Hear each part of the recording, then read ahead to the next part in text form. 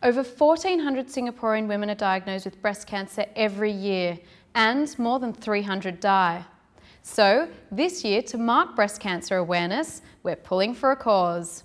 Join us on October the 6th at Skate Park to celebrate strength, sisterhood and a super makeover.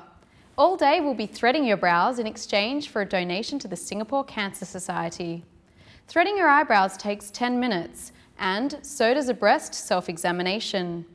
With awareness, we can beat breast cancer. Pullingforacause.sg. See you there.